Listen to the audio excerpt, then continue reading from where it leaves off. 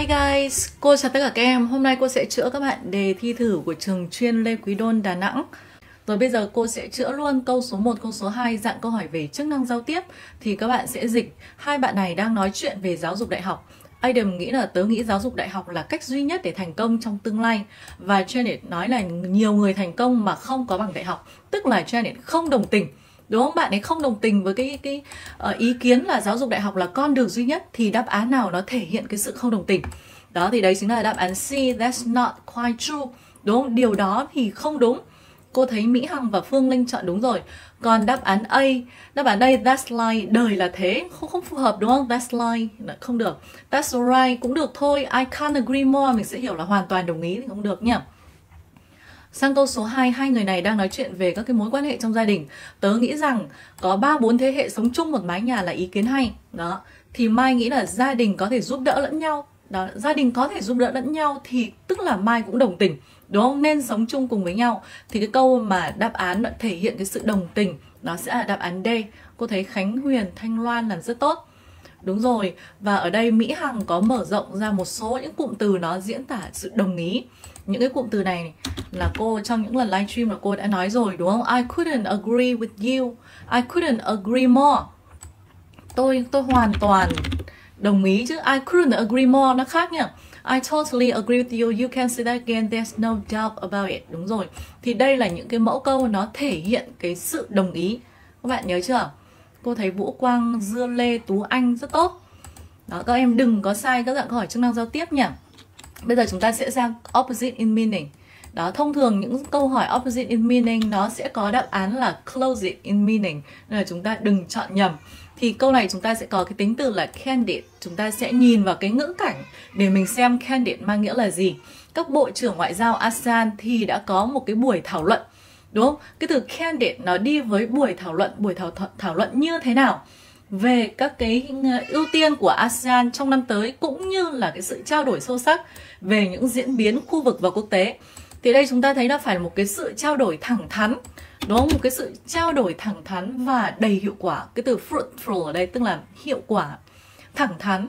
Thế bây giờ trái nghĩa với thẳng thắn nó sẽ là gì? nhưng mà thẳng thắn không che đậy không có úp mở gì cả đây chúng ta sẽ hiểu là saying what you think nói cái điều bạn nghĩ một cách cởi mở một cách openly and gì? Honestly. Đấy, một cách openly and honestly thì trái nghĩa nó sẽ là dishonest. Chúng ta đang chọn trái nghĩa tức là không trung thực, không nói thật. Đúng không? Phải nói thẳng thắn ra, nhưng ở đây trái nghĩa thì không nói thật, không nói một cách thẳng thắn. Nên đáp án sẽ là dishonest. Cô thấy ngân hà chọn đúng rồi. Tiếp theo sang câu số 4 lại thành ngữ, các bạn thấy câu hỏi thành ngữ rất nhiều nhá. Put the cat among the pigeon này party popper này, wet blanket, lie white bee, couch potato, hay là oh đấy, tất cả những cái câu này đều là câu hỏi thành ngữ. Thì chúng ta thấy là nó sẽ khó hơn rồi. Thế câu số 4 The new manager, put the cat among the pigeons by suggesting that the staff might have to come to work earlier than usual. Khi mà đề xuất rằng là nhân viên nên đến làm việc sớm hơn thường lệ đấy khi mà nói nhân viên nên đến làm sớm hơn thường lệ tức là làm sao? Có ai muốn đi làm sớm không? Vậy thì cái người quản lý mới này đã put the cat chúng ta có thể dùng từ put hoặc từ set the cat among the pigeons tức là cause trouble gây phiền phức. Đó cause trouble to for somebody khiến cho ai đó cảm thấy uh, gây phiền phức gây khiến cho người khác cảm thấy tức giận đúng không? Thế bây giờ trái nghĩa thì nó sẽ là gì? Made a lot of people satisfied. Đấy, thì trái nghĩa sẽ là đáp án A, còn đồng nghĩa thì sẽ như đáp án B. Cô thấy Vũ Quang và Phương Linh các em làm rất tốt. Yeah, chúng ta nhớ nhá. Bây giờ sang uh, close it này.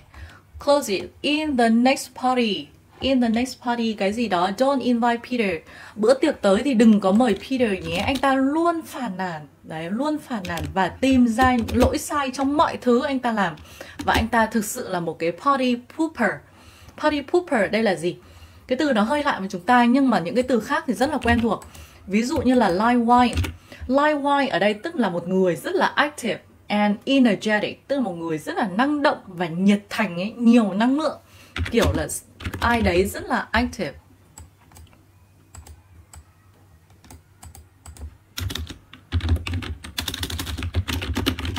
And energetic thì chúng ta không thể chọn à, uh, lively được. Đúng không? Còn BGB tức là người bận rộn. Đó BGB tức là người bận rộn. Sao cái này nó lại vậy ta?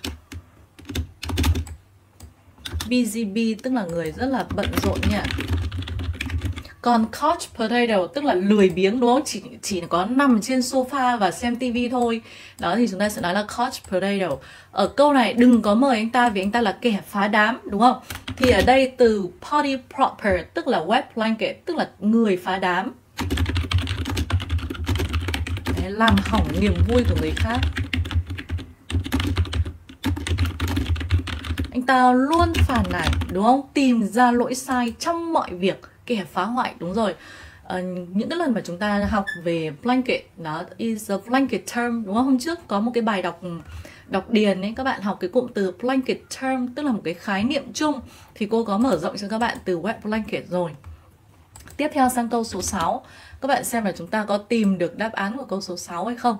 Câu số 6 The President's new tax plan is supposed to help the struggling middle class and revitalize the stock market. However, closer analysis reveals that he stripped all hat and no cattle. Cái kế hoạch mới, đúng không? Chúng ta sẽ dịch từ cái từ plan, kế hoạch mới của Tổng thống được cho là sẽ giúp đỡ những cái tầng lớp trung lưu đang gặp khó khăn và phục hồi cái thị trường chứng khoán. Tuy nhiên, đó tuy nhiên những phân tích kỹ hơn thì cho thấy rằng anh ta chỉ có đội mũ mà không có gia súc nếu chúng ta đọc dịch theo nghĩa đen đúng không ô hát hát là cái mũ cattle là gia súc chỉ có đội mũ mà không có gia súc ý là gì? Chính là ý chỉ là một kẻ gì nhỉ? Uh, all hat and no cattle là gì các bạn? Chúng ta dựa vào cái ngữ cảnh đúng không? Anh ông kế hoạch mới được cho là sẽ giúp đỡ người này giúp đỡ người kia nhưng mà hóa ra lại thành ra gì? All hat and no cattle tức là khoanh khoang khoác lác thôi đúng không? Nói nhiều hơn làm. Đấy thì từ này chúng ta sẽ hiểu là khoe khoang khoác lác nói nhiều hơn làm tức là một người chỉ giỏi hoanh hoang thôi.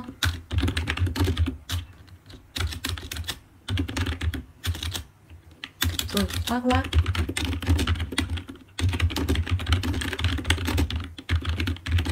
thì cái cụm từ gì mà nó xem được nhỉ? Cái từ gì nó xem xem được? Cường nghĩa ở đây tức là tend to talk boastfully without acting on one's word à, bánh trưng mà là một kẻ ngoài cuộc thiện thì lại chọn là oh master and no mind câu này khó đúng không? Các bạn có check ra được đáp án của câu số 6 là đáp án gì không? Một cái cụm từ nó diễn tả là khoe khoang khoác lác. Đấy nói nhiều hơn hơn làm. Thì bây giờ chúng ta sẽ sẽ chọn từ từ nhá. đáp án D skin and bones tức là một cái người cực kỳ gầy. Đấy chưa? Extremely thin một người cực kỳ gầy thì nó cũng không phù hợp với nghĩa tiếp theo, all brain, all broads and brain, and no brain. Tức là toàn có bắp thịt và không có não. Từ này mang nghĩa này, toàn bắp thịt mà không có não. Tức là gì? Tức là đầu óc. Đó mình hay gọi đầu óc ngu si, tứ chi phát triển ấy, tức là một người mạnh về thể chất nhưng mà không không được linh hoạt, không được đầu óc, không được khôn ngoan đấy thực ra chính cái câu thành ngữ ở tiếng việt mình là đầu óc ngu si tứ chi phát triển là cũng cũng phù hợp đấy đó, đầu óc không được khôn ngoan đúng không người khỏe mạnh lực lưỡng nhưng mà đầu óc không được khôn ngoan Đúng rồi, thiện bảo là câu này em hiểu theo nghĩa là người to mà óc như quả nho. Yes, như vậy là chúng ta đã hiểu được B và D, còn A và C nữa. Vũ Quang thì chọn đáp án A. Câu này đáp án A thì thì cô check là không có cái thành ngữ này đâu. All form and no beer là là không có không có cái thành ngữ này. Thực ra cái câu này các bạn có chọn được đáp án không? Câu này cô không không hiểu cái ngữ cảnh xong là A, B, C, D nhé. All muscle and no mind cũng không có luôn. Đáp án D đấy. Các bạn có check ra được ờ, đáp thành ngữ nghĩa của A và C không? Đây, với cô cô cô check thì không có hai thành ngữ là đáp án A và C. All form and no beer, no all muscle and no mind O'Brien's and no brain đó, không được khôn ngoan, đúng rồi. Đúng rồi. Chúng ta thấy là những cái câu ờ, như là đáp án C cũng không có thành ngữ. Và cô thấy là khi mà dịch cả B và D ra thì cũng không tìm được đáp án nào. Vậy nên suy ra với cô là không chọn được. Không chọn được đáp án câu này. Đấy, chắc là phải hỏi ừ, các cái bạn ờ, ở chuyên lê quý đôn đà nẵng xem là thầy cô chữa câu này ra ra cái đáp án gì tại vì cô cô thấy là sẽ không không chọn được đáp án nào mà nó gần nghĩa cả đúng không? À, thiện bảo là thế này em hiểu ra mà em chọn sai. Yes. Đầu óc mình không thể gì là tiết lộ ra rằng anh ta đầu óc không được khôn ngoan đúng không? Đầu óc không được khôn ngoan nó không thể xem như là khoác lác nói nhiều hơn làm được. Thế là six ở đây bỏ lại. Nha chúng ta không chọn được cái đáp án nào nó phù hợp với cái câu số 6 này rồi bây giờ chúng ta sẽ sang câu số 7 Câu số 7 nếu như có người ngoài hành tinh ở ngoài kia Thì bạn có nghĩ Đó, do you think Bạn có nghĩ là họ sẽ làm sao? Các em đợi cô chút Không hiểu sao nó toàn bị này. Bạn có nghĩ là họ giỏi về trình độ công nghệ tiên tiến hơn chúng ta nhiều hay không? Chúng ta sẽ cần một cái trạng từ kết hợp với cái tính từ advanced. Đó thì cái trạng từ đấy đó chính là technologically. Nên các em sẽ chọn đáp án đúng ở đây đáp án A đó hy vọng mà đáp án đúng là đáp án A. Thế là sao cô không check không không có đáp án A nhỉ?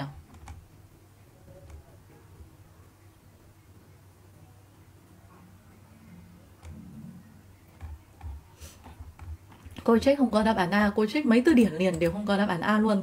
Ở à, đây này đây là câu 6 cô thấy bảo là nhiều bạn chọn đáp án A nhưng mà cô check không không gian old formano beer để để trích lại một lần nữa nhé các bạn à, tìm thấy cái từ thành ngữ này ở từ điển nào gửi link cho cô với nhá. Cô check một số từ điển uy tín thì không có cái thành ngữ đấy tức là nó không không quá phổ biến đấy đó, câu số 8 My brother will have lived in England for three years.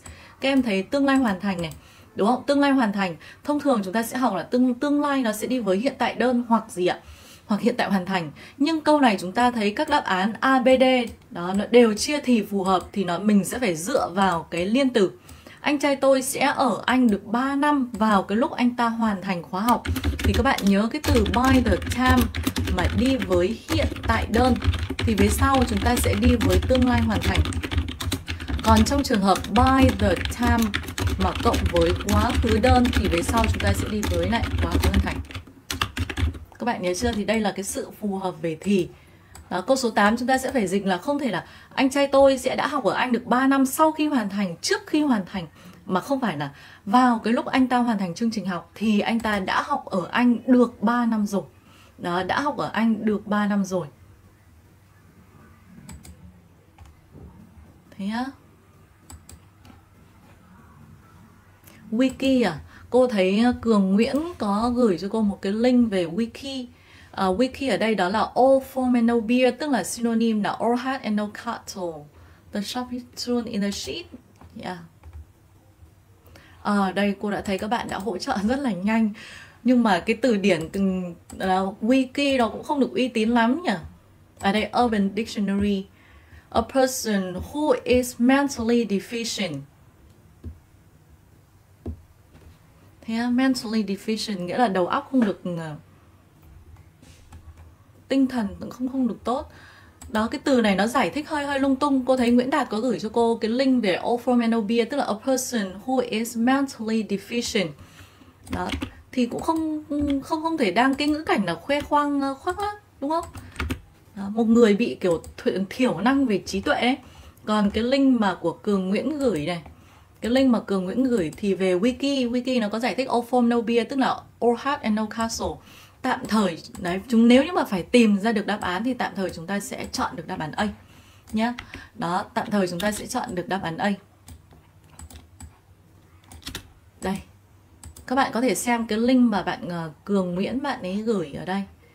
Đây các bạn nhìn thấy comment chưa? Cường Nguyễn gửi một cái link của wiki còn khi mà cô check những cái từ điển uy tín ấy thì thì không có các em ạ. Đấy không có Ophomeno beer.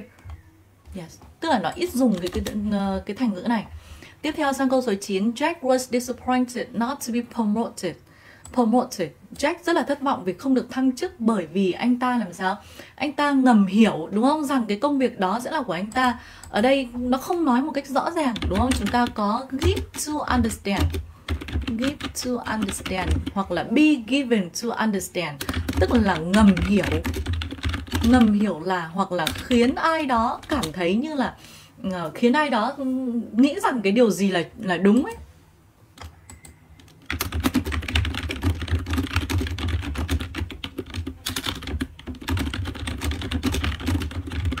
các bạn thấy đề của trường này ra mấy cái câu này khó rất là khó, đúng không đó, give to understand hoặc là be given to understand Vậy nên câu số 9 chúng ta sẽ chọn đáp án là understand, là ngầm hiểu, đúng không? Khiến ai đó hiểu cái điều gì là đúng. Tiếp theo sang câu số 10, câu số 1 cũng là dạng câu hỏi về thành ngữ. Đó, đề này nó cho không hiểu sao cho nhiều thành ngữ. Câu số 12 cũng là thành ngữ luôn. Đó, rất nhiều thành ngữ. Câu số 10 cuộc sống thì nó quá là uh, chứa nhiều vận may đúng không và rủi ro đến nỗi bạn phải học cách làm sao học cách kiên nhẫn và chịu đựng được gian khổ đó thì chúng ta sẽ có một cái cụm từ nó đi với take the rap chúng ta sẽ nói là take the rap with the smooth các em sẽ ghi cái thành ngữ này vào nha, các em sẽ ghi vào. Take the rough with the smooth. Phải thua thuộc thôi vì nó là thành ngữ, tức là kiên nhẫn. Cuộc sống thì nó sẽ có fortune và mid fortune, đúng không? Nên chúng ta sẽ phải học cách được kiên nhẫn, chịu đựng gian khổ. Đấy, kiên nhẫn, chịu đựng gian khổ và kiểu là như là chấp nhận mặt tốt xấu của vấn đề mặt tốt xấu ở đây có thể là fortune hoặc là misfortune. Yes. Và chúng ta có cái cụm từ là be full of full of tức là nhiều. Be full of something. Đó thiện bảo là em lụi trúng câu này. Yes. rồi chúng ta sang câu số 11 này. Câu số 11 he just run round like a hellish. When he tried to work on too many projects but end up not achieving anything anh ta bận rộn làm đủ thứ, nhưng lại không hiệu quả khi cố gắng thực hiện quá nhiều dự án, nhưng cuối cùng chẳng đạt được cái gì. Đúng không? Anh ta chạy như là một cái con gà nó không có đầu óc ấy. Mà một con gà không có đầu óc, tức là làm nhiều mà hiệu quả lại không cao, thì chúng ta sẽ nói đó một cái người làm nhiều mà hiệu quả không cao đó là run round like a headless chicken. Theo cái văn hóa phương tây thường ý chỉ những cái gì mà nó không được khôn ngoan nên thường hay nói là con gà đó, con gà con lợn bận rộn nhưng lại không hiệu quả đấy bận rộn vất vả nhưng mà lại không hiệu quả nhỉ con gà nên đáp án đúng ở đây nó sẽ là chicken. Các bạn sẽ tìm hiểu thêm idioms with snake, cross và duck. Chúng ta sẽ check ở trên mạng nhỉ Tiếp theo sang câu số 12, take a gap year off.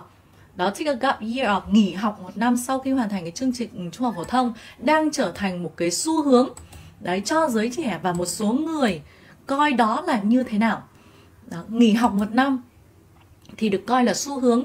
Một số người coi đó là under the table. Chúng ta có cụm under the table tức là cái gì đấy mà nó diễn ra ở dưới gầm gầm bàn tức là nó không được công khai minh bạch đúng không? Nó giấu giếm giống như kiểu là hối lộ ấy. Hối lộ đưa tiền cho quan chức. Đó tiếp theo cô có cụm từ là be over the top. Over the top ở đây là quá mức không phù hợp. Ví dụ như là nói về việc chi tiêu he spent too much money too much time on his phone chẳng hạn he was over the top. Đó, ví dụ các em dành quá nhiều thời gian cho TikTok and it's over the top tức là nó quá mức. Tiếp theo cô có từ beneath their dignity. Đó beneath their dignity tức là giảm giá trị của bản thân. Thì chúng ta thấy ba cái thành ngữ này đều nó không phù hợp với nghĩa. Và đáp án đúng ở đây sẽ là B hoặc là chúng ta có thể dùng là walking on the thin ice. On thin ice. Đi trên, đúng không? Trượt trên. Hoặc chúng ta cũng hay dùng từ skate. Đó, trên cái băng mỏng, tức là một cái tình huống rất nguy hiểm, nhiều rủi ro.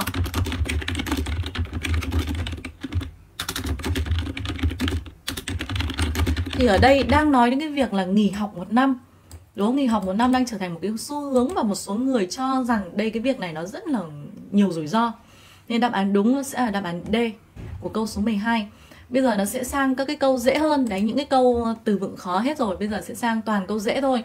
Câu số 13 Sue rarely misses a chance to do volunteer work. Thì cái từ miss tức là bỏ lỡ một cái cơ hội hiếm khi, đúng không? Cái từ rarely nó mang nghĩa phủ định nhỉ Chúng ta có một số từ mang nghĩa phủ định. Ví dụ như là từ uh, rarely Chúng ta có một số từ mang nghĩa phủ định Từ seldom, từ hardly đó những cái từ như thế này nó mang nghĩa phủ định này. Là những cái từ cô tô đỏ này là những cái từ mang nghĩa phủ định nên theo sau các bạn phải chia dạng khẳng định. Và miss a chance là hiện tại đơn nên cái trợ động từ nó sẽ là does. Hiếm khi bỏ lỡ cơ hội làm từ thiện có phải không? Các em sẽ là án B. Tiếp theo sang câu số 14 nói về cái đồng đô la Mỹ thì nó rất đặc biệt bởi vì nó đóng một cái vai trò Ờ, đóng một cái vai trò không cân xứng trong kinh doanh quốc tế thì đồng đô la Mỹ chúng ta sẽ có mạo từ đứng trước. Cái từ chỉ tiền tệ không? Theo các bạn khi nói đồng đô la Mỹ chúng ta có chỉ có có giờ không? Trần Quân mà là nãy giờ câu idioms nào em làm cũng sai. Thực tế là những cái câu idioms ở trong cái đề này ấy Nó cũng không phải là những cái idioms phổ biến. Đấy, idioms mà thường gặp trong bài thi Nó cũng rất là lạ đúng không? Ngay cả cái câu mà đáp án A cô cũng chưa gặp bao giờ Và cô check các từ điển uy tín nó cũng không có luôn. Câu số 14 Khi nói về tiền tệ Đồng đô la Mỹ The US dollar các bạn thấy là sẽ có mạo từ không? Yeah, chúng ta sẽ có mạo từ nhé Mình sẽ nói là the US đó, The US dollar. Từ US này chúng ta sẽ có the đúng không? Đồng đô la Mỹ. Tiếp theo sang câu số 15 Ở vế sau các em đã thấy nó chia hiện tại hoàn thành. Nên là cái vế since này chúng ta sẽ chia quá khứ đơn Kể từ khi computer uh, được phát minh con xin lỗi Được phát minh thì nó lại phải bị động Đấy, kể từ khi máy tính được phát minh thì nó đã tạo ra những cái thay đổi đáng kể trong cuộc sống của chúng ta Câu số 16 chúng ta sẽ cần một collocation kết hợp với requirement. Đây thì những cái câu này nó rất quen thuộc đúng không? Đó, đáp ứng nhu cầu thì chúng ta sẽ dùng cái từ meet này hoặc các bạn sẽ dùng từ fulfill, từ satisfy thì những cái cụm từ này các bạn đã học rất nhiều lần rồi. The demand đáp ứng demand need requirement Đấy, criteria đáp ứng nhu cầu, đáp ứng tiêu chí Nên đáp án đúng nó sẽ phải là từ meet nha. Đúng rồi, tiếp theo sang câu số 17. Do thời tiết xấu thì cái chuyến đi dã ngoại phải bị hủy bỏ. Hủy bỏ thì chúng ta sẽ nói là put off hoặc các bạn sẽ nói là postpone. Còn từ take off là một cái từ rất đa nghĩa. Đúng không? Ngoài cái nghĩa là cất cánh đi với máy bay thì chúng ta còn mang nghĩa là cởi bỏ. Ví dụ như là cởi bỏ giày dép, quần áo. Đấy, và nó còn mang nghĩa là thành công về một cái sản phẩm gì đấy thành công từ suy off tức là tắt đi đó, suy off ở đây chúng ta có hiểu như là turn off tắt một cái thiết bị đi còn từ put down. Put down chúng ta sẽ dịch với nghĩa là đặt xuống. Ví dụ như là chúng ta có một cái cụm từ đã học trong chủ đề books and film đó là how to put down book, một cái cuốn sách rất khó để đặt xuống, tức là nó rất là hấp dẫn. Put down to. Mình sẽ hiểu là quy cho là nó sẽ tương tự như là attribute to. Thì những cái từ mà cô mở rộng là nó rất hay gặp trong bài thi nhá. Chúng ta sang câu số 18 Câu 18 mình gặp mấy lần rồi cơ Đúng cái câu số 18 mình gặp rất nhiều lần rồi này Các bạn còn nhớ không? 18 đọc cái bài báo về những cái thiệt hại do cơn bão gây ra thì đã khiến cho tôi nghẹn cổ họng, như kiểu là nghẹn ngào, xúc động, đúng không? Thì cái từ này mình học nhiều rồi nhé.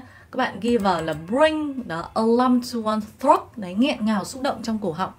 Và ở đây các bạn sẽ thấy là có một cái collocation đó là cause do harm to. Đấy do harm hoặc các bạn sẽ dùng với do damage. Tức là gây thiệt hại đọc bài báo về những thiệt hại gây ra bởi cái cơn bão này thì đã làm cho cổ họng tôi nghẹn lại. Thấy chưa? Nghẹn ngào không nói lên lời. Red Cherry đúng rồi, Hoàng Trần Thảo Nguyên rất tốt. Các em sang câu 19 và câu số 20. The conference nó không thể tự lên kế hoạch được. Đúng không ạ? Nên chúng ta sẽ uh, rút gọn dạng bị động. The conference which was planned. Đó, cái mà được lên kế hoạch bởi các tổ chức phi chính phủ và các bạn sẽ rút gọn thành planned. Tại sao chúng ta biết đây là câu rút gọn? Vì trong câu đã có động từ was chia thì rồi thì cái động từ còn lại nó phải ở dạng rút gọn nhỉ. Believe in yourself, tin tưởng vào chúng ta sẽ dùng believe in, trust in. Đấy, tin tưởng ai hay là mình cũng dùng là confide in. Là chúng ta có cái từ confide in tức là tin tưởng vào ai đó để mình có thổ lộ tâm sự giải bày. Đó believe in, trust in, confide in. Hoàng Hà đúng rồi, Mỹ Hằng rất tốt. Câu 21 The better the weather is Đó, thời tiết càng đẹp thì bãi biển càng đông người thì chúng ta cứ nhớ là tính từ nó sẽ đảo lên trước. The more thì sẽ đi về tính từ. Đi với chủ ngữ rồi về đến động từ. Còn câu số 22 Cái câu đầu tiên là nhầm. Đó. Origin Đó, vagina này, garbage và gearbox. Chúng ta thấy chỉ có gearbox Đó, gear đọc là g còn lại thì đọc là ger nhá. Origin đó fragile garbage đều là ger. Tiếp theo daunting crot và naughty là o chỉ có đáp án B là dropped. Đó đáp án B là dropped là âm A còn lại thì là âm O nha. Cô nghĩ là các bạn làm phát âm trọng âm rất là tốt. Câu 24 câu 24 thông thường chúng ta có động từ prefer đúng không? Động từ thì là prefer nhấn âm 2 nhưng danh từ thì các em sẽ đọc là preference. Đó khác biệt chưa? Đó, động từ thì nhấn âm 2 nhưng danh từ thì lại nhấn âm 1 preference nhấn âm 1 còn lại thì sẽ nhấn âm 2 attraction nhấn âm 2 là attraction. Advantage đó nhiều bạn cứ nghĩ là ờ, advantage nhấn âm 1 không đúng mà nhấn âm 2 nhé vì van à, là a dài. Important nhấn âm 2 tiếp building ladder injured đó nhấn âm 1 chỉ có hotel nhấn âm 2 rất nhiều lần cô bảo chúng ta là có những cái danh từ mà trọng âm nhấn âm 2 như là hotel này um, police này đúng không? Những cái danh từ mà nhấn âm hai nó hơi lạ như vậy thì chúng ta sẽ tổng hợp nó vào một cái trang. Mình thi thoảng đọc lại cho nhớ. Bây giờ các em sẽ sang câu số 26 Các bạn đợi cô một chút, cô copy lên đây. Đấy, các bạn nhìn và chọn cho cô nhá. Câu 26 là câu hỏi về đại từ quan hệ nên chúng ta chỉ cần nhìn cái danh từ đằng trước là chỉ người, chỉ vật hay như thế nào thôi. Người ta nói là học piano, học piano và giải các cái câu đố toán trên máy tính thì cải thiện đáng kể các cái kỹ năng toán cụ thể của trẻ em tiểu học theo như một cái nghiên cứu mới. Thì các cái kết quả đó thì cái từ which ở đây nó thay cho the results đúng không? Những kết quả được công bố trên cái tạp chí này là mới nhất. Đó trong các loạt nghiên cứu về rèn luyện âm nhạc với sự phát triển của các cái chức năng não bộ. Đó thì đây người ta đang nói về taking piano, piano lesson và việc giải toán đố tiếp theo sang đoạn số 2 các nhà nghiên cứu đã làm việc với hơn, với 130 năm học sinh lớp 2 tại một trường tiểu học Los Angeles. Sau khi tiến hành một cái nghiên cứu thử nghiệm, chúng ta có pilot study. Thì pilot study tức là một cái nghiên cứu thử nghiệm. Ở đây các bạn sẽ không thể chọn carry read được. Nếu như mà có carry thì phải là carry out, đúng không? Hoặc các bạn sẽ dùng từ undertake a study. Đấy, khi nói về một cái nghiên cứu thì các bạn sẽ nói là a study hoặc research hoặc survey hoặc questionnaire hoặc là test đó mình sẽ dịch là tiến hành một cái nghiên cứu khảo sát gì đó với 120 học sinh và những cái trẻ em này thì được đào tạo trong 4 tháng cũng như là có thời gian chơi với các cái phần mềm máy tính được thiết kế thì những cái trẻ em này đạt điểm cao hơn 27% về môn toán và phân số so với những trẻ em khác. Chúng ta thấy children là danh từ số nhiều. Được chưa? Thì ở đây chỉ có other đi với danh từ số nhiều thôi. Còn every và another đi với danh từ số ít. Đó, every, another đi danh từ số ít. Còn others thêm s rồi thì sẽ không đi với danh từ nữa câu 28 các em sẽ chọn D cô thấy Thiện Hoàng Hà Phương Linh chọn D chính xác sang câu 29 là câu khó hơn nhé câu 29 là câu khó hơn vì câu 29 là câu hỏi từ vựng thì chúng ta phải dịch được nghĩa của các cái từ ABCD này. Đấy trong ngữ cảnh thì cái từ nào nó phù hợp nhất? Người ta nói piano lesson này hưởng uh, ờ, những cái hướng dẫn chơi đàn piano thì được cho là nó tăng cường cái the brain heart wiring một cái dây gì đó trong não bộ đúng không? Đó for spatial temporary reasoning.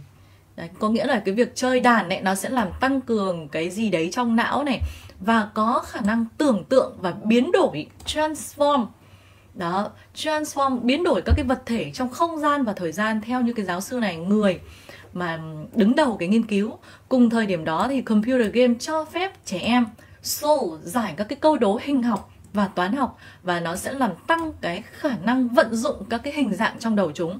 Ở đây chúng ta sẽ cần một cái từ nó mang nghĩa là vận dụng nhá, một từ nó mang nghĩa là vận dụng thì theo các bạn, chúng ta sẽ chọn đáp án gì mang nghĩa là vận dụng? Đáp án A là manipulate. Thông thường cái từ manipulate chúng ta sẽ dịch với nghĩa là nó nó kiểm soát, đúng không? Nó thao túng thị trường. Đó, kiểm soát thay, thao túng trị thị trường. Nhưng mà trong cái ngữ cảnh này về manipulate thì nó mang nghĩa C1 luôn. Mang nghĩa rất là khó. Các bạn kích vào cái link mà vừa cô mới gửi về manipulate ấy. Đấy, mình sẽ dịch với nghĩa là sử dụng vận dụng một cái kỹ năng nào đấy. Đây với cái nghĩa manipulate này nó mang nghĩa là C1 luôn rồi các bạn nhé thông thường ừ, thông thường từ vựng trong cái đề thi của chúng ta nó ở mức gọi là B1 thôi. Nhưng mà cái từ manipulate này nó khó hơn nó nó ở cái cấp độ là C1 rồi. Đó có nghĩa là gì? Là là use là vận dụng áp dụng một cái kỹ năng. Thì ở đây có nghĩa là sẽ tăng cái khả năng vận dụng các cái hình dạng trong đầu nên đáp án đúng nó sẽ là manipulate thao túng. Nghĩa thứ nhất mà nghĩa thường gặp nhất đó chính là thao túng, kiểm soát. Nghĩa thứ hai là vận dụng, sử dụng một cái kỹ năng thì manipulate mình sẽ đi với cái nghĩa thứ hai này. Được chưa? Còn cái từ accumulate tức là tích tụ, tích lũy. Cái từ này hay gặp trong bài thi, nó tương tự từ build up. Ví dụ chúng ta tích lũy tiền bạc, đúng không? Tiền bạc này của cải này kiến thức này. Đấy thế mình có thể dùng thì những cái trường hợp đấy sẽ dùng với accumulate. Còn simulate simulate nó khác với lại uh, stimulate nha. Stimulate tức là khuyến khích. Còn từ simulate tức là mô phỏng đó stimulate tức là khuyến khích encourage something. Nhầm với simulate. Còn accommodate tức là cho ở nhờ. Đó accommodate tức là tạo chỗ ở. Accommodate là cho ở, đúng không? Chúng ta có cái danh từ của nó là accommodation đấy là là chỗ ở. Và accommodate còn mang nghĩa là cung cấp đủ chỗ trống này. Consider accommodate còn mang nghĩa là giúp đỡ ai. Đấy, giúp đỡ ai bằng cái việc là làm những cái điều họ muốn. Accommodate tức là giúp đỡ ai đó. Rồi đấy như vậy là chúng ta đã hiểu được bốn cái nghĩa của cái đáp án ABCD rồi nhỉ?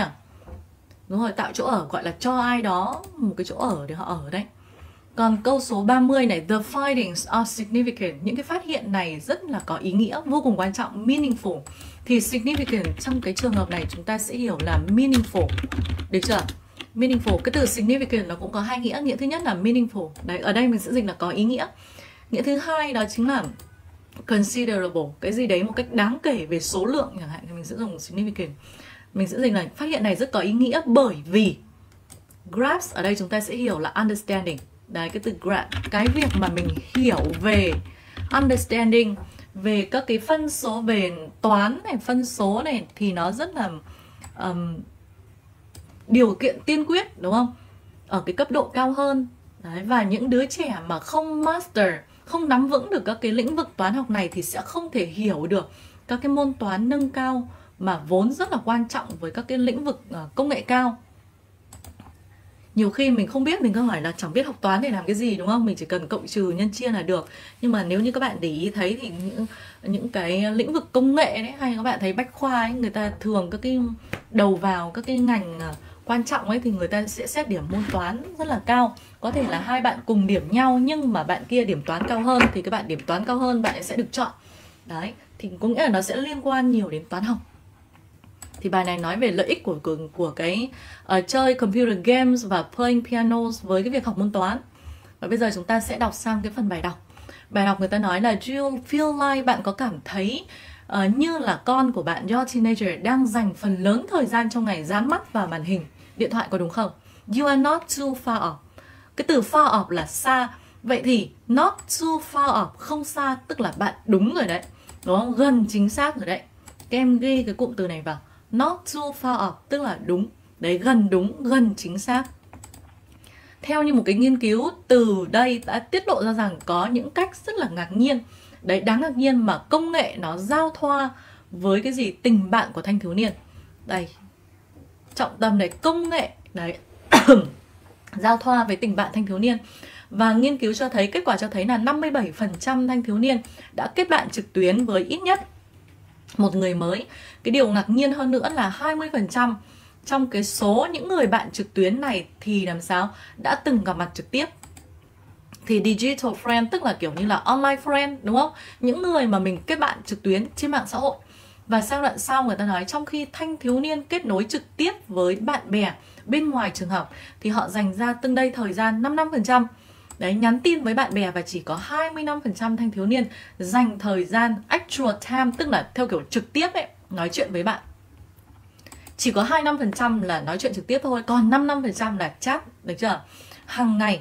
Và người ta nói là những cái hình thức giao tiếp này đó chính là chìa khóa trong việc duy trì tình bạn và có 27% thanh thiếu niên nhắn tin nhanh instant message. Đó, nhắn tin nhanh cho bạn bè hàng ngày. 23% thì sẽ kết nối thông qua mạng xã hội mỗi ngày. Và chỉ có khoảng 7% trò chuyện qua video thôi. Thì cái việc mà gọi video trò chuyện là là ít được sử dụng hơn. Đúng không? Nghĩa là họ thích kiểu nhắn tin hơn so với gọi video. Và nhắn tin văn bản vẫn là cái hình thức liên lạc chính. Đó gần một cái số nửa những người tham gia khảo sát cho biết thì đây à, chính là một cái họ chọn cái phương thức liên lạc này với những cái người bạn mà họ thân nhất. Nghĩa là họ sẽ text messaging đúng không? Họ sẽ nhắn tin. Thì bài này đề cập đến những cái đoạn 2 đề cập đến những cái số liệu. Đấy người ta liên lạc như thế nào? Bao nhiêu phần trăm? 55 phần trăm? 25 phần trăm? 27 phần trăm? Liên lạc. Và sang đoạn số 3 à, ờ, các cô gái thì có xu hướng là nhắn tin với bạn thân thì các chàng trai lại gặp mặt đấy, để duy trì tình bạn trong game, đấy, trong thế giới game, và có 89% bạn bè mà 89% thì chơi với những cái người bạn mà họ biết, tức là khi họ chơi game ấy, đúng không? Thì 89% là chơi với những người họ biết từ trước, và 54% chơi với những người bạn chỉ là bạn bè trực tuyến thôi, chứ không phải bạn ngoài đời. Nghĩa là những cái bạn bè mà mà ngoài đời thật ấy, thì sẽ chơi game với nhau nhiều hơn. Được chưa? Còn bạn trực tuyến thì chỉ có 54% thôi và cho dù là họ có thân thiết với đồng đội, với teammate của họ hay không, thì những cái online gamers, những cái game thủ trực tuyến đều nói rằng cái việc chơi này khiến cho họ cảm thấy có kết nối với bạn bè mà họ biết hơn. Đấy, kết nối với bạn bè mà họ biết, tức là họ biết ở ngoài ngoài đời thật hơn, đúng không? Hoặc là những cái game thủ mà họ chưa từng gặp mặt. Bây giờ chúng ta sẽ trả lời các cái câu hỏi liên quan là câu số 32 33 34 theo các bạn câu 32 chúng ta sẽ chọn là bán gì? Digital friends đúng không? Digital tức là trên mạng. Đấy là kỹ thuật số tức là phải liên quan đến uh, đến mạng đúng không? Đáp án sẽ đáp án D. Còn đáp án A analog tức là kiểu tương tự. B là số học còn D numerous tức là nhiều là many. Thì câu 32 các bạn sẽ chọn là online. Cô thấy Quỳnh Lam này Thảo Nguyên Ngân Hà Quỳnh Bơ đều chọn đúng. Tiếp sang câu số 33 câu số 33 thông tin nào sau đây là đúng ngoại trừ? Đó, ngoại trừ thì nó giống như là, nó giống như là câu gì? Not true ấy. Đúng không? Câu nào sau đây là đúng ngoại trừ, tức là ngoại trừ cái câu sai? Đấy thì chúng ta đặt luôn, đây là câu not true. Thì sẽ có ba đáp án là đúng, một đáp án là sai. Cái việc mà chúng ta tìm ra một đáp án là sai, nó dễ hơn so với việc là chúng ta tìm cả ba đáp án sai, đúng không nhỉ? Thì đáp án gì mà chúng ta đọc, chúng ta thấy nó sai luôn và sai ở đâu? Câu 33 cô thấy Phương Linh bảo là C Thiện cũng C bánh trưng thì là cho là B. Ngân hàng cũng chọn C. Phương Linh giải thích sai ở most teenager vì chỉ có 7% thôi đúng rồi. À, Phương Linh và Mỹ Hằng đã giải thích rất đúng. Đáp án C mình thấy là hầu hết thanh thiếu niên sử dụng video để duy trì tình bạn là sai. Đúng, ở đoạn số 2 người ta có đề cập những cái con số liệu Đấy, để duy trì tình bạn thì gọi video chỉ chiếm 7% 7% thì nó không thể là hầu hết được. Được chưa? Thế thì chúng ta sẽ chọn đáp án C là sai. Còn đáp án A, B, D là đúng. A là theo khảo sát thì có hơn một nửa thanh thiếu niên đã từng kết bạn trên mạng này. Và thanh thiếu niên chỉ gặp mặt khoảng 1 phần 5 số bạn bè trực tuyến mà họ đã kết bạn này. Và các cái hình thức giao tiếp mới đóng vai trò quan trọng trong việc gìn giữ tình bạn chính xác. Nên là chọn đáp án C. Và câu số 34 từ they ở đây là gì? Là những người bạn là những người bạn trên mạng những cái teammates của họ hay là những cái người mà chỉ là bạn trên mạng thôi. Câu 34 đó Trần Quân giải thích đúng rồi Trần Quân giải thích đúng. Thiện bảo là câu 34 chọn là bán B Ngân Hà câu 34 cũng chọn là bán B. Uh, yes, chúng ta thấy là cái thông tin trong đoạn nó có đề cập đến hai đối tượng người. Đấy, hai đối tượng người nhá. Đây, cho dù là họ thân thiết với teammate, đồng đội của họ hay không Teammate tức là kiểu người tham gia cùng chơi game ấy Thì những người chơi game nói rằng cái việc chơi cùng này Thì khiến họ cảm thấy họ có kết nối với những người bạn mà họ biết Hay là những người bạn mà họ chưa từng gặp mặt. Đấy, vậy thì they know những người bạn mà họ biết vậy họ biết ở đây là ai biết? Những online gamers mà họ biết đúng không? Online gamers mà họ biết online gamers ở đây có thể là những người bạn mà đã gặp ở ngoài đời thật được chưa? Hoặc là những người bạn gì mà chỉ có gặp trong game thôi. Đấy, chưa từng biết ở ngoài đời. Hoàng Trần Thảo Nguyên, Vũ Quang và Mỹ Hằng chọn đúng rồi. Tiếp theo, câu số 35 câu hỏi suy luận à. Chúng ta đọc hết chưa nhỉ? Mình đọc hết cái đoạn còn lại rồi sang câu hỏi suy luận nhé. Đoạn sau, khi mà kết bạn với những bạn mới, thì mạng xã hội cũng đã trở thành một cái phần major part, một phần quan trọng trong cái teenager identity đấy, bản sắc của thanh thiếu niên. Thì có 62% thanh thiếu niên thì rất nhanh chóng chia sẻ cái tên, social media username, tức là cái tên mạng xã hội để để kết nối với nhau ấy.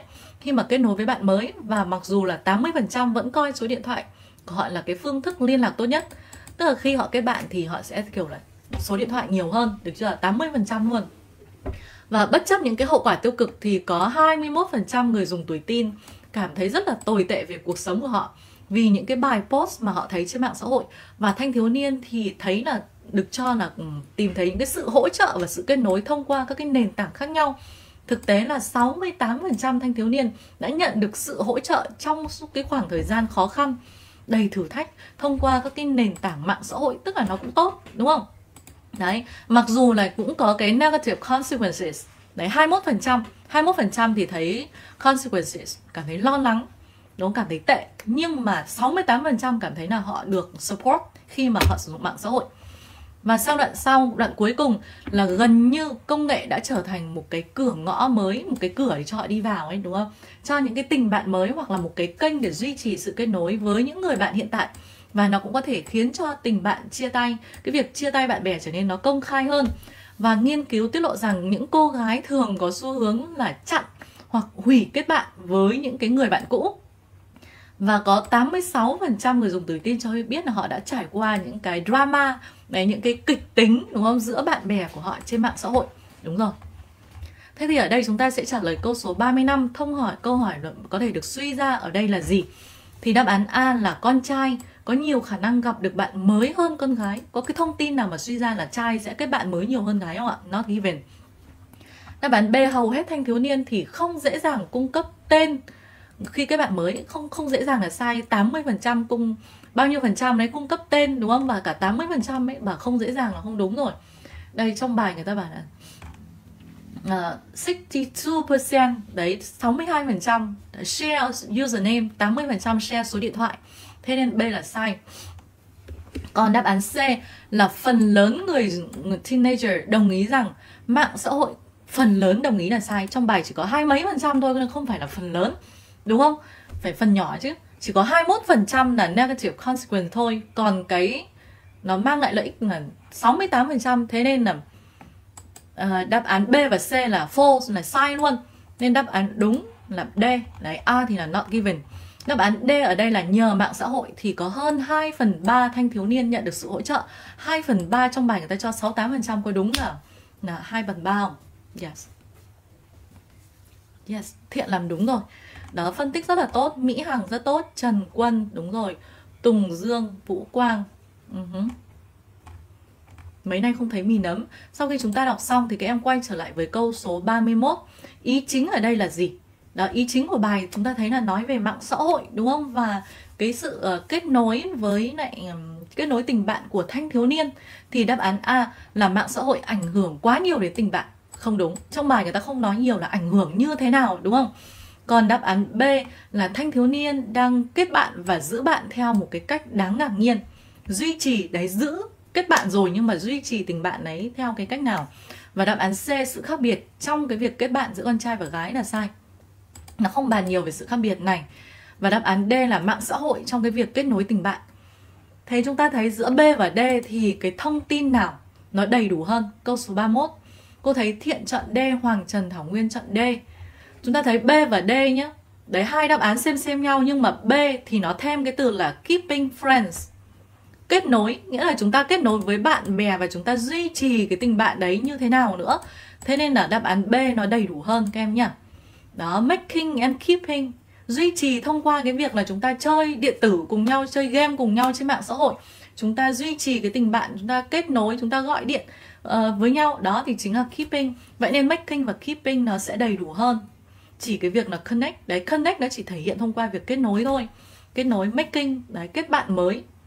Và duy trì cái tình bạn đó như thế nào thì B nó sẽ đầy đủ hơn các em nhá. Bây giờ chúng ta sẽ sang bài đọc số 2 là những cái bài đọc hôm nay nó hơi dài. Bài số 2 nói về thẻ thông minh và điện thoại di động đang trở thành một cái phương tiện ngày càng phổ biến để thực hiện các cái hình thức thanh toán. Đúng rồi.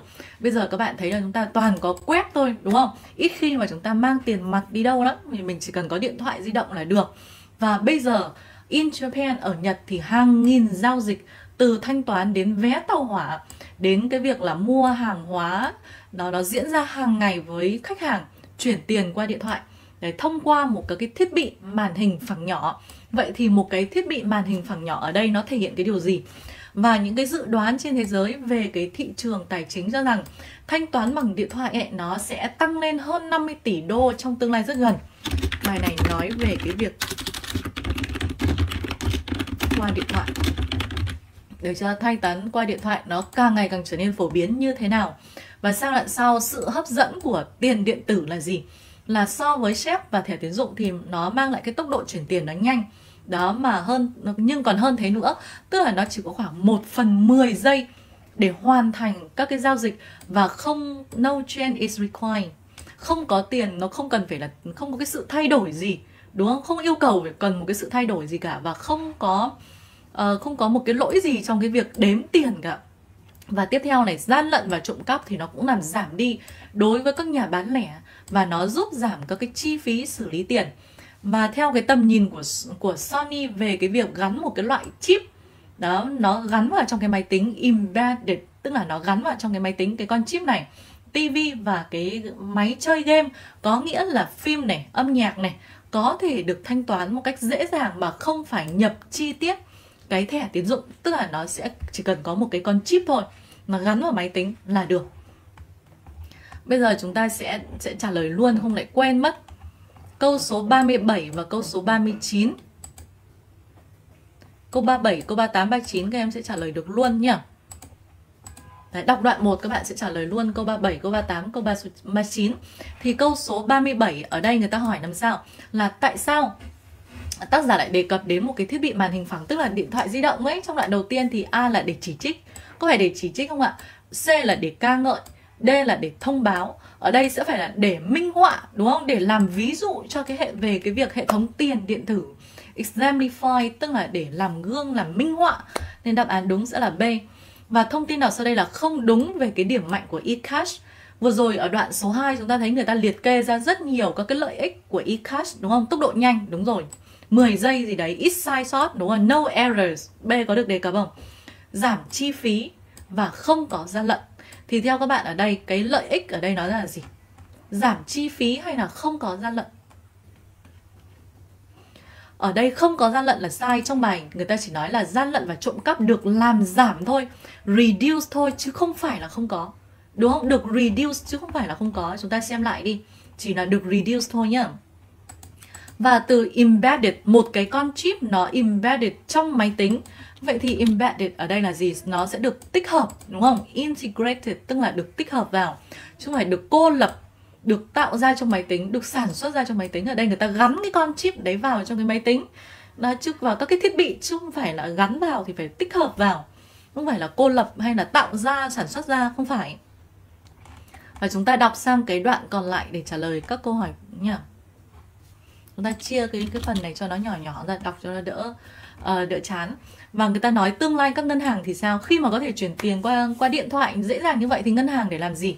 Thì người ta nói là within their grip on the market với cái tầm kiểm soát của họ trên thị trường thì các ngân hàng và các công ty thẻ tín dụng muốn là sẽ ở trong một cái vị trí mà có thể là là collect thu được hầu hết các cái khoản phí từ người dùng di động.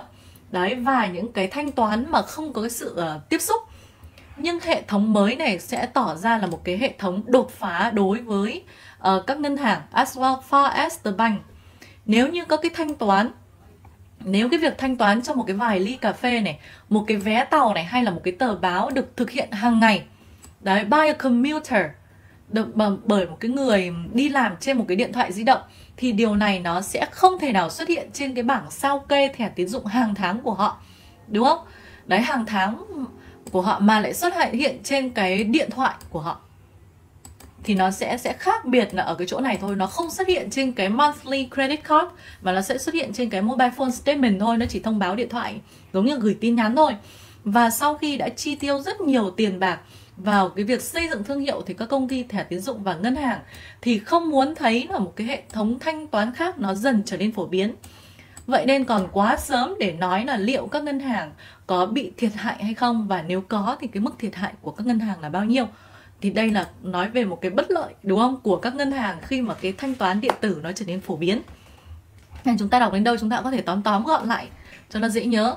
Và tuy nhiên này, khá nhiều chủ ngân hàng của Mỹ tỏ ra lạc quan Đấy, một cái ý kiến khác, họ tỏ ra lạc quan Họ cảm thấy là có lý do để nghi ngờ cái dự đoán rằng là các ngân hàng trên trên đường, cái High Street Bank đã trở thành quá khứ và họ chỉ ra rằng Internet Banking thanh toán qua Internet nó không mang đến cái việc đóng cửa các cái chi nhánh ngân hàng của họ. Đấy, như là dự đoán. Tức là cái việc thanh toán trên internet sẽ không dẫn đến cái việc đóng cửa ngân hàng đâu, mà ngược lại, người Mỹ thì đang sử dụng những cái local branches, các cái chi nhánh địa phương. Vậy liệu chúng ta có trở thành một cái xã hội hoàn toàn không sử dụng tiền mặt hay không ấy, thì nó vẫn còn là một cái vấn đề còn gây tranh cãi tức là không chắc chắn đúng chắc các tác giả ở đây là không chắc chắn là à sẽ thay thế bằng hoàn toàn bằng tiền mặt hay không đúng không vẫn còn contention gây tranh cãi thì ở đây câu số 40, tác giả đề cập đến cái trường hợp commuter ở đoạn số 3 để minh họa cái điều gì? Thì đáp án A là minh họa cái công nghệ hiện đại của hệ thống tiền điện tử. Còn đáp án B là mô tả cái sự hợp tác với các công ty thẻ tín dụng uh, cái khả năng giao dịch của hệ thống hay là mô tả một cái drawback, một cái nhược điểm có thể của cái hệ thống. Thì nói về một cái computer ấy đúng không? Trên cao tốc sử dụng thì ở đây về một cái nhược điểm của hệ thống và từ words ở đây nói về there, there tức là các cái chi nhánh ngân hàng ở Mỹ. Đấy thì sẽ là American Banker. Và tác giả cảm thấy gì không chắc chắn, đúng không? Thông tin ở dòng cuối cùng đoạn cuối cùng luôn. Cảm thấy không chắc chắn. Và sau khi chúng ta đọc hết thì cái ý chính của đoạn 1, à cô cứ tưởng đây là ý chính của của cả bài thì mình mới để sau. Chứ người ta mà hỏi ý chính của đoạn 1 thì đọc xong đoạn 1 chúng ta trả lời được luôn các bạn nhá Đoạn 1 chúng ta vừa mới đọc xong nói về cái gì? Sự gia tăng đúng không? Sự phổ biến của phương thức thanh toán. Đó. Thông qua thanh thanh toán online đấy. Nên đáp án sẽ là B. Sự phổ biến ngày càng gia tăng của các phương thức thanh toán mới, thanh toán mới ở đây tức là không dùng tiền mặt đấy. Còn đáp án B A là sự vắng mặt của các cái phương tiện à, phương pháp thanh toán truyền thống. C là dự đoán về tương lai không đúng. Hay là, là thanh toán tiên tiến của Nhật nào nó phải là increasing popularity đúng không? Đáp án ở đây sẽ là đáp án B. Đó, thì những cái câu hỏi khó chúng ta đã làm được hết rồi. Bây giờ chúng ta sẽ sang các cái câu dễ hơn nhá. Câu dễ hơn này thì cô chữa nhanh lắm. Tại vì đề nào nó cũng vậy thôi Nó cứ lặp đi lặp lại. Các bạn đừng đừng nghĩ là cô chữa hời hợt nhé Vì là đề nào nó cũng lặp lại các em ạ. Đó, bây giờ mà đề nào cũng giải thích như thế này, chán lắm. Nó không cần thiết phải làm gì. Thì cái từ nó thể hiện không cần thiết, nó sẽ là needed. Được chưa? Còn should là nên, Might là diễn tả khả năng. Mustn't, bắt buộc không được. Câu số 44 You are in this mess right now. Bạn đã gặp rắc rối bởi vì bạn không lắng nghe tôi. Cái sự việc không lắng nghe nó diễn ra ở quá khứ Và nó ảnh hưởng đến hiện tại là bây giờ gặp rắc rối. Thì cái câu điều kiện nó diễn tả một cái sự việc không có thật trong quá khứ Kết quả ảnh hưởng tới hiện tại Thì đấy chính là câu điều kiện 3-2 hỗn hợp. Nha, 3-2 hỗn hợp đáp án B. Câu số 45 Chúng ta sẽ uh, viết lại câu sử dụng từ quá khứ đơn sang hiện tại hoàn thành. Lần cuối cùng Peter đã chạy marathon là khi anh ta 18 tuổi Tức là anh ta đã không chạy kể từ khi anh ta gì? 18 tuổi. Đáp án sẽ là C. Chúng ta sang câu 46 và câu 47 Chúng ta có thêm kiến thức. Đây Vế trước thì là có thêm kiến thức về cách sử dụng mạng xã hội an toàn Sử dụng cách lên mạng an toàn Thì chúng ta lo lắng ít hơn về cái nguy cơ của cybercrime, tội phạm mạng thì bây giờ chúng ta thấy vế đầu là more, vế sau là less, được chưa? Vế đầu là more, vế sau là less thì đáp án phù hợp đây sẽ là phải là the more knowledge, the less we worry. Đó, còn B nhé.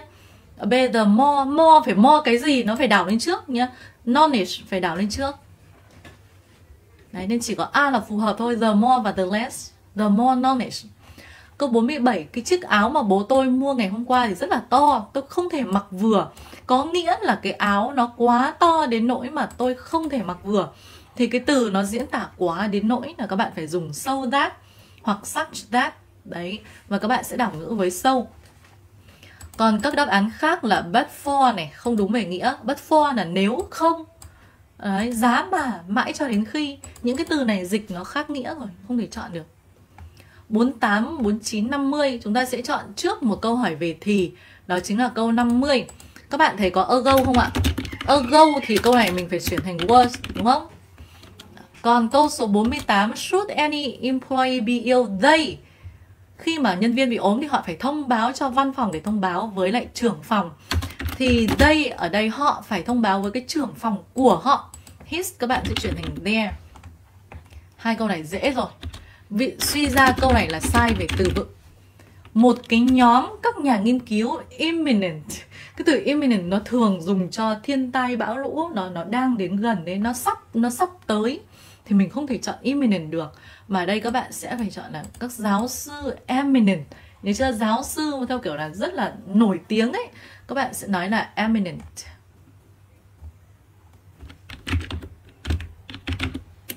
Đấy, tức là một người kiểu là very famous. Còn imminent tức là đang đến gần. Đó eminent. Eminent. Thường cái từ eminent này mới là danh từ chỉ người các bạn nhá. Và bài học ngày hôm nay của chúng ta đến đây là kết thúc em nha cô hẹn gặp lại tất cả các em vào tối thứ sáu với đề chuyên hạ long nhá.